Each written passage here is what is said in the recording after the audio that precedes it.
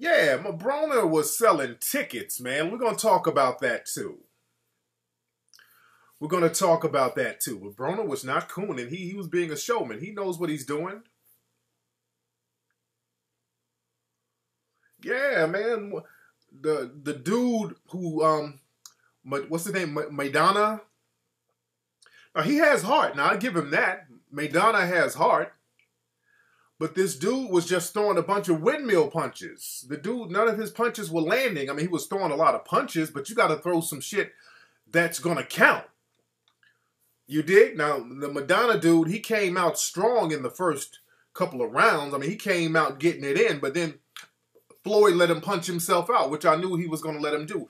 The dude was punching himself out, and he kept throwing them overhand, that overhand right, that's all predictable. So Dude, the dude didn't have no real good strategy. He missed most of the punches, and he was head butting. He tried to. Y'all see when he tried to throw that knee up there? I'm recording. Y'all see when he tried to throw that knee? So yeah, Maidana, he has heart, but he, you know, he got tired and started fighting like a hood rat off World Star. He just started throwing. He was throwing wild punches.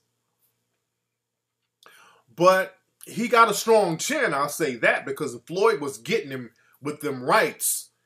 And Maidana was eating them fucking right hooks. He was eating them hooks just like he was eating that little that little snack cake after the fight. What the hell was that he was eating? I think he tried to get him a little endorsement deal after the fight. Maidana came out eating like an Argentinian cupcake or some shit. I'm like, what the hell is he doing? They're like, put that shit down.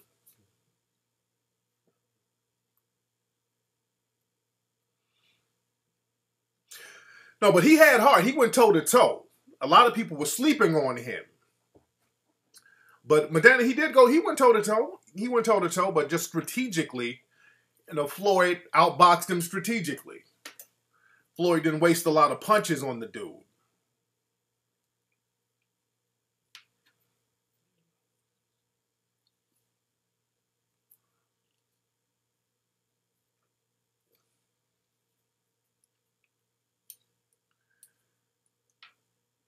They tried to put Adrian Broner's con- well, look for those who don't know. After the fight, Adrian Broner, who was a who was that guy? Adrian Broner was fighting. He was fighting the Mexican dude. And understand this: Adrian Broner was getting booed all night by the Mexican crowd, and that's the thing, man. A lot of even Floyd gets booed, and he's an American fighter. And people go there the majority of the crowd seems to be against all the black fighters, no matter if they're the heavyweights or whatever. And Broner just got real gangster with it. Carlos Molina, exactly. So, you know, they were booing Adrian Broner all night. They were booing him all night. So he figured, like, fuck it, if you're going to boo, let me give you something to boo about. So what he said wasn't racist because he said, like, he was doing in the interview, he was like, look, you know, I'm the I'm the can man. Anybody can get it. An African, I just beat the fuck out of a Mexican. everybody's like, ooh. And the guy, the guy interviewing him was like, hey, come on, show some class. But he was selling them tickets. Now, it may have been an asshole comment but again, he said African and he said Mexican, so it wasn't really racist. But it was you could look at it as an asshole comment. He said African, so y'all can't. It ain't it ain't no racial comment. He didn't say anything negative about no no no Mexican person. Yeah, he didn't say anything negative. Just like you know, you can't compare that to Donald Sterling. Donald Sterling was specifically saying something negative. a lot of things negative about black folks, not even the same. People always trying to compare some kind of black racism to white supremacy. No. What's up, Rod Willie? Rod Willie in the house. So it was an asshole comment, but it wasn't racist, though. It was an asshole comment. But he was purposely being an asshole. Like, look, okay, and, and that's the thing with black fighters. See, black fighters, and let, let me break this whole thing down because on Twitter, And that's another thing. On Twitter, oh, it was nigger fest on Twitter.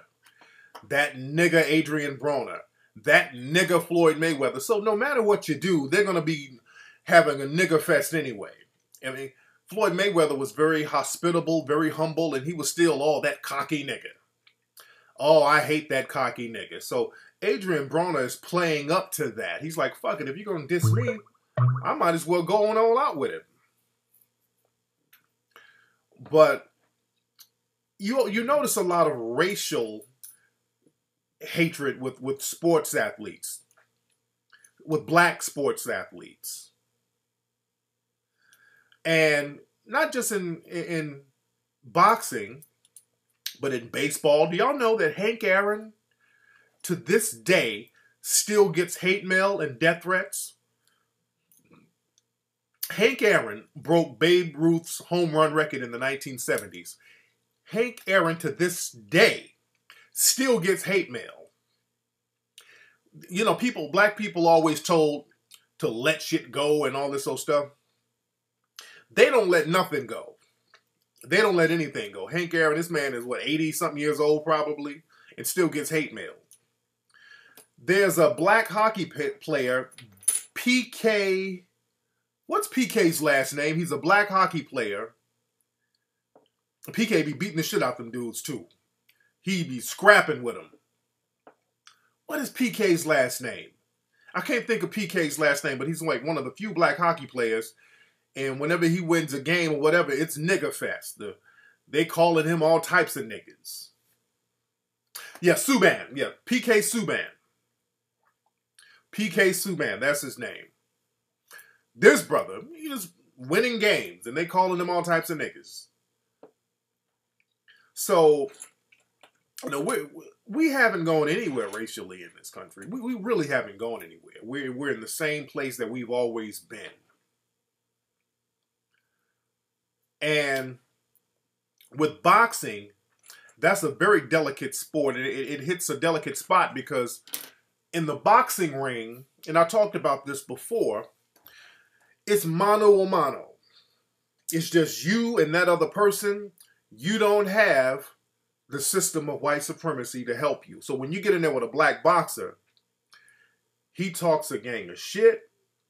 The box, the black boxers talk trash. That's the only place where they can talk trash and then back up their trash talking without the immediate ramifications of the dominant society. Now they do get ramifications outside of the ring as payback. You notice a lot of black fighters are always getting punished by some type of law. They're always getting thrown in jail for some old humbug charge as a way of paying them back. And the black fighters, you know, they take pride in that. Again, that's the only place where they can beat your ass and the system of white supremacy cannot help you in that ring. And Larry Holmes said that. And I talked about that before in the Cooney fight. He was like, look, when I get in the ring with Cooney, you can't call the police. And I knew exactly what he meant by that. He's like, when I start beating your ass, we ain't outside here in the rest of society where you have the police and you have the system of white supremacy to help you. When it's me and you in that ring, your ass is mine. that ass is all mine. No system is going to help you. And that's the hate thing there because many of those in the dominant society, you know that you depend on the system of racism to assist you. When it's one on one, mano a mano, a lot of times you lose. And this says a lot about race relations in our country. In order to thrive and to compete on an equal level with a black person, there has to be a system of equality of inequality. There has to be a system of inequality helping a lot of people. And that's something that we need to discuss in this country. That's something that we need to discuss.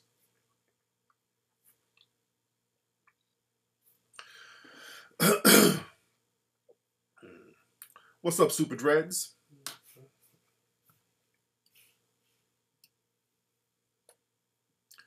Say they, they just fired Mark Jackson. Why they fire Mark Jackson? And we got to talk about Well, you think if Floyd didn't flash as much, it ain't about flashing. So what? If you got money, you're supposed to spend your money. It ain't about flashing, dude. That's a cop out. It there's always been this thing of black men if you got money or and if you're confident, you're always looked down upon. You always no matter what you do, you got to literally live like a hermit if you're a black dude and you got money and you got some confidence about yourself. That's that whole that goes back to the whole Jack Johnson thing. With Jack Johnson, they made it seem like he was extra flashy. He was just doing shit like a, a normal rich person would do. Buy nice cars, wear nice clothes. They would make Jack Johnson when he would beat an opponent, because most of his opponents were white, they told him if you knock somebody out, don't smile. You dig what I'm saying? It's like, look, we got to humble you. Don't smile if you knock out a white opponent. A little bullshit like that. That old insecure shit where you need a system of racism to, to help you.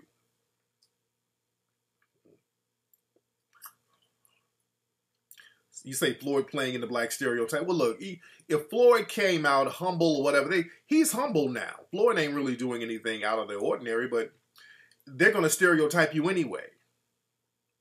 They're going to stereotype you anyway. They now the coon. Joe Louis was kind of a coon. Joe Louis, and truth be told, Jackie Robinson was on the coon train a little bit. A lot of folks don't want to talk about this. Jackie Robinson was on the coon train. This is why they'll do a movie about him and all that stuff.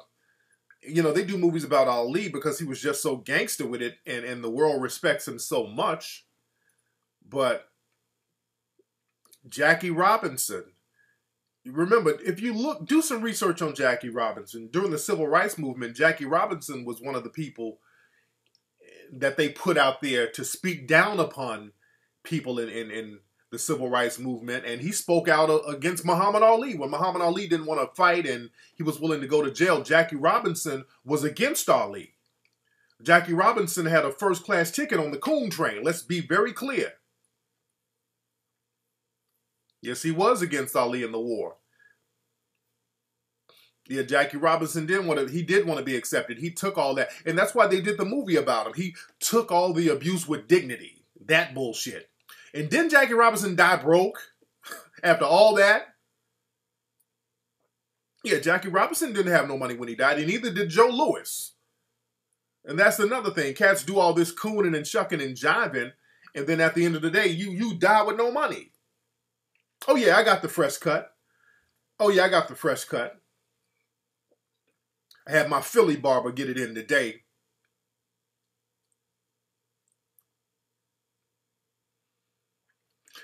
But no, Floyd is the truth, man. I love Floyd Mayweather. He's the truth. Floyd Mayweather is the truth.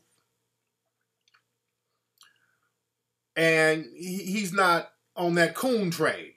So I don't he's not playing in no black stereotypes. Floyd is real gangster with his. Floyd don't let them put him in that coon box. Because Floyd knows the game. He knows they'll use him up and throw him to the curb and have him broke and with no money and they'll they'll do him like they did Mike Tyson.